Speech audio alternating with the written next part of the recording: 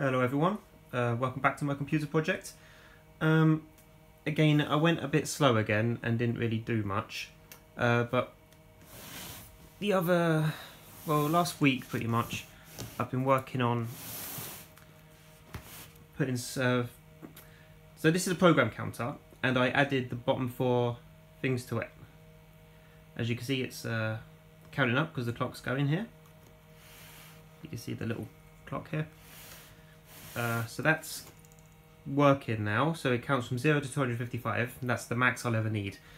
Uh, so before it only done 0 to 15.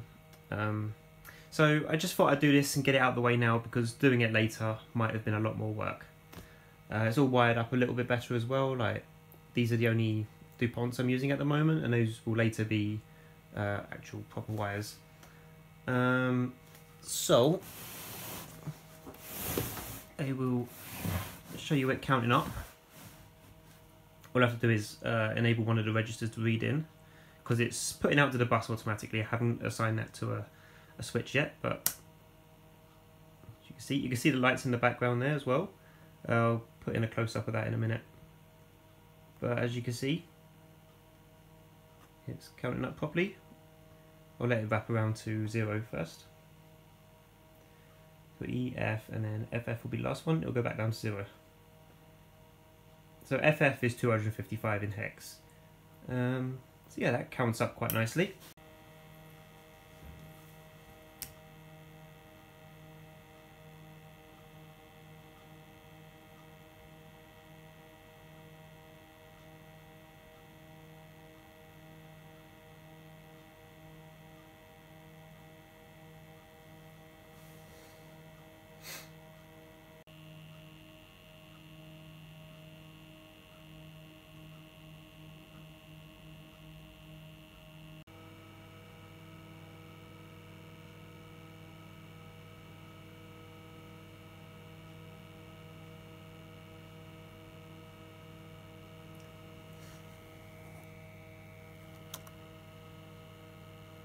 And thank you for watching.